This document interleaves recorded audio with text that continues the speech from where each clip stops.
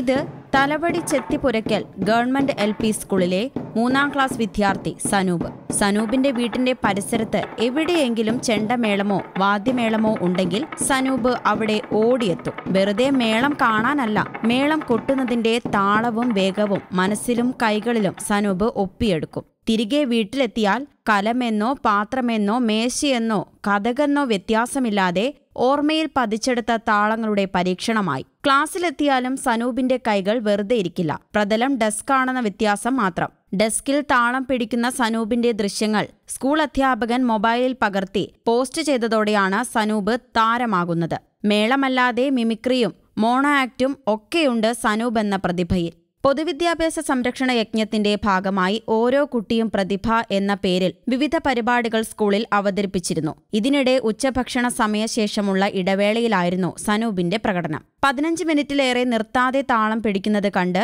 സ്കൂളിലെ അധ്യാപകൻ ജയശങ്കർ തന്റെ മൊബൈൽ ക്യാമറയിൽ പകർത്തി ഇത് പിന്നീട് പോസ്റ്റ് ചെയ്തപ്പോൾ നവമാധ്യമങ്ങളിൽ തരംഗമാവുകയായിരുന്നു. ഒൻപതുകാരന്റെ തകർപ്പൻ പ്രകടനം ഇതിനോടകം തന്നെ നിരവധി പേർ ഷെയർ ചെയ്തു. ഫേസ്ബുക്കിലെ പ്രമുഖ ഗ്രൂപ്പുകളിൽ ഇതിനോടകം ഈ കൊച്ചു കലാകാരന്റെ കഴിവ് ലക്ഷത്തിലധികം പേർ പങ്കുവച്ചു.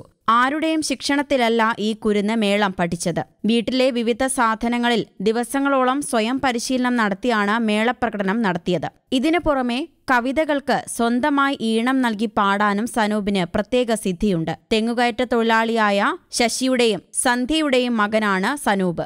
സനൂപിന് കുഞ്ഞുലവനെ പഠിക്കാനും ഈ താളത്തോടും മേളത്തോടൊക്കെ ഭയങ്കര ആഗ്രഹം ആത്മാർത്ഥമാണ് പക്ഷേങ്കിൽ നമ്മുടെ വീട്ടിലെ സാഹചര്യം അച്ഛനെ അമ്മ പിന്നെ ഭാര്യ മക്കളെ അവരുടെ പഠിത്ത കാര്യങ്ങൾ അച്ഛനമ്മയുടെ കാര്യങ്ങൾ എല്ലാം കഴിഞ്ഞിട്ട് കൂലിപ്പണിക്കാരനായ ഞാൻ വളരെ ബുദ്ധിമുട്ടാണ് ഈ ബാക്കി കാര്യങ്ങൾ നടത്താനായി ആരെങ്കിലും സഹായിച്ചാൽ കാര്യങ്ങൾ നടക്കും.